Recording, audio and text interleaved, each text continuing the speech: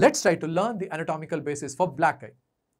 We mentioned that the fourth layer of scalp, right, is a potential space which is made up of loose areolar tissue.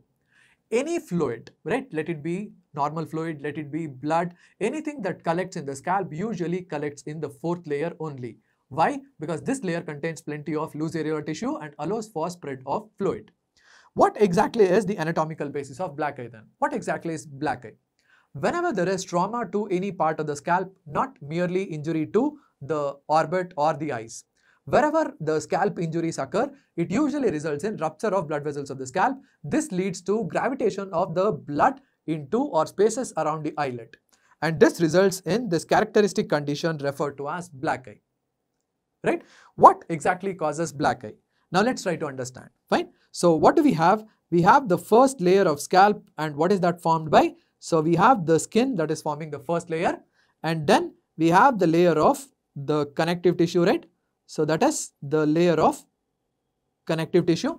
And the third layer as we learnt is the layer of the muscle.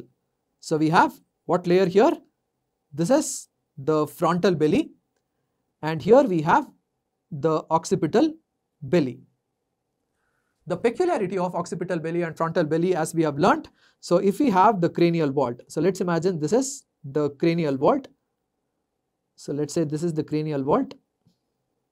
As we can see, the occipital belly is firmly attached to the cranial vault, right? Because it arises from the superior nuchal lines. Whereas the frontal belly does not have a bony attachment.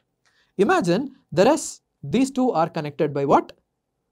These two are connected by, of course, the aponeurotic layer right. So here we have the fourth layer of scalp, right. So this is referred to as the fourth layer of scalp.